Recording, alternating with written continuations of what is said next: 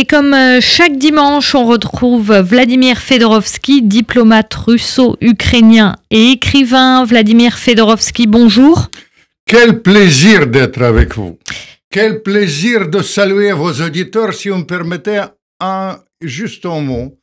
Vous dites diplomate, et dans ma longue vie diplomatique, je faisais beaucoup de choses, la perestroïka, mais j'étais euh, un des personnages, des négociateurs de, de la libération des otages.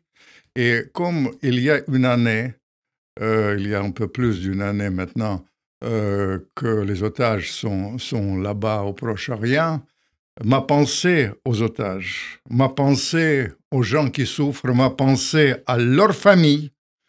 Et autrefois, j'ai libéré euh, les otages occidentaux et les Russes. C'était il y a longtemps, vous savez, dans les années 70. Et je dois vous dire qu'on m'a demandé après beaucoup de fois qu'est-ce qu'il faut faire? Et je dis toujours penser à la vie humaine. Ma pensée pour les otages et ma pensée pour les auditeurs qui nous entendent. Merci beaucoup Vladimir euh, Fedorovski, on y est sensible sur euh, Radio J. Alors, votre euh, livre dernier ou prochain à paraître, c'est Dialogue d'outre-tombe Staline-Poutine, paru aux éditions Ballant. Et aujourd'hui, avec vous, on va parler de la Russie et des Juifs. Quel sujet Quel sujet La Russie et les Juifs? Qu'est-ce qui les lie de façon euh, aussi euh, forte, passionnelle et, parfois aussi avec des épisodes de l'histoire pleins de défiance? Avec, avec les épisodes pleins de défiance, mais je vais commencer par ma longue vie diplomatique, quand même avec la diplomatie. Euh, vous comprenez, moi je considère que maintenant, j'ai pensé aux otages, encore une fois, ma pensée à eux, mais euh, je dois vous dire, je pense qu'on vit maintenant le moment le plus dangereux de l'histoire de l'humanité. Et je pèse mes mots, l'histoire de l'humanité, parce que les conflits sont partout. Évidemment, le conflit en Ukraine, au Proche-Orient, c'est explosif euh, plus que jamais. puis en Asie, autour de Taïwan. Et je dois vous dire que quand je réfléchis sur ça, euh, il y a beaucoup de choses, euh, euh, beaucoup d'émotions.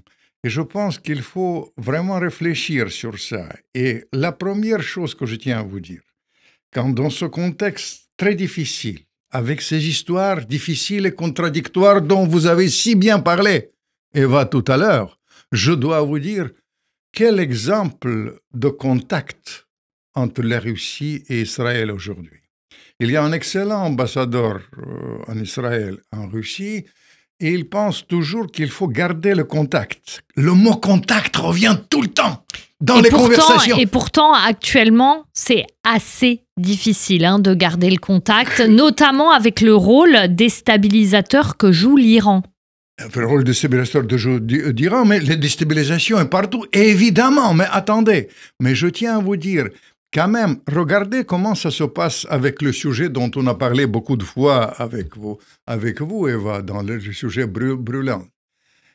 Le mot contact. Moi, je, suis ahuri. Pourquoi je dis que c'est le moment le plus dangereux? Pendant la guerre froide, nous avons eu les moments dangereux, mais nous avons gardé le contact. Exactement comme ça se passe dans la diplomatie aujourd'hui entre Israël et la Russie. Regardez comment ça s'est passé dès le début. Qui a failli éviter l'impasse qu'on vit? C'est l'ancien Premier ministre israélien Bennett, qui était peut-être le meilleur intermédiaire qui a fait bouger, bouger les accords d'Istanbul.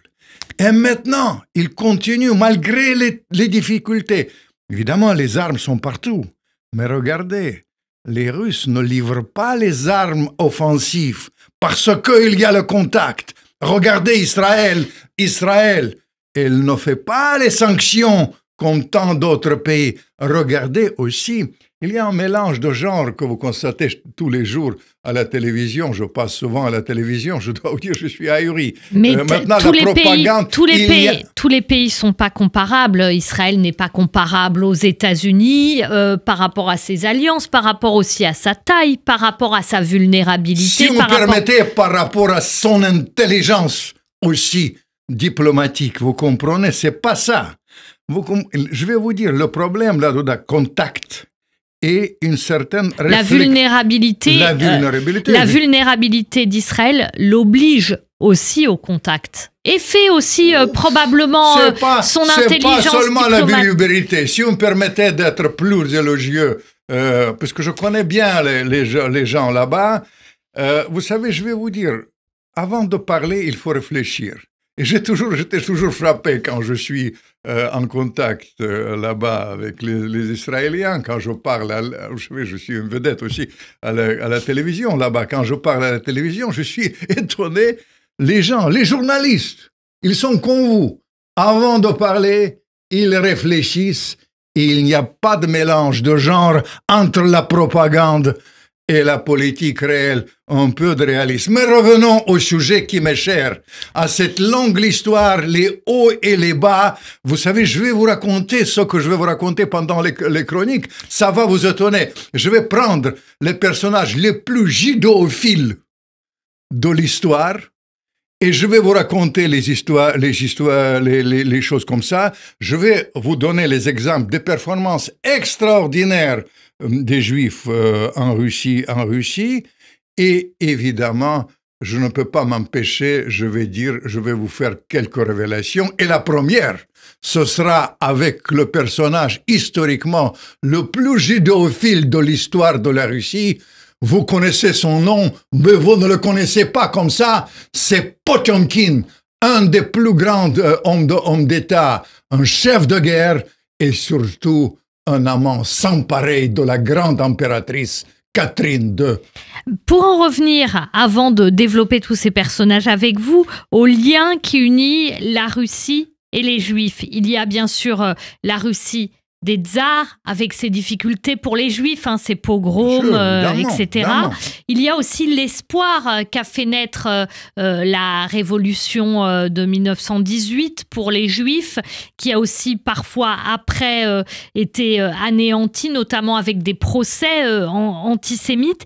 Qu'est-ce qui, selon vous, pourrait résumer le mieux ces liens à la fois passionnels et troubles et tourmentés entre Israël et les Juifs On a deux minutes. Donnez-nous une anecdote en deux minutes qui pourrait tout résumer d'après vous. Vous savez, je pense euh, c'est à la fois l'affinité extraordinaire, une grande attirance et des grandes blessures le mot, le mot espoir, l'attirance réciproque et la grande blessure. Je tiens à vous prendre sur ce plan-là une ville qui m'est chère. J'ai publié, vous savez que je publie aussi euh, mes amis. Il y a un grand ami à moi, Gurfinkel. Il a publié Les Juifs, l'Ukraine et l'Odessa. Et, Odessa. Euh, le roman d'Odessa. Le symbole cela est Odessa. C'est New York avant l'heure. Extraordinaire. Le roman d'Odessa, je recommande aussi à nos auditeurs. Merci beaucoup Vladimir euh, Fedorovski qu'on retrouvera euh, donc euh, dimanche prochain, diplomate russo-ukrainien et écrivain. Votre dernier livre est livre à paraître, Dialogue d'outre-tombe Staline-Poutine, paru aux éditions Ballant. Merci.